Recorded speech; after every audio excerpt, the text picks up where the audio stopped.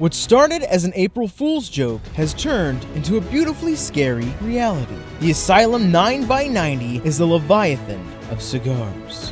Using as much tobacco as two 7x70s, this monstrous cigar is downright gorgeous. A deliciously delectable Honduran Puro, with a surprisingly consistent flavor profile of sweet nuts, leather, salt, peat, and a good amount of pepper to balance it all out. With this cigar, there is no doubt that Asylum is the king of large ring gauges, and there is not a challenger in sight.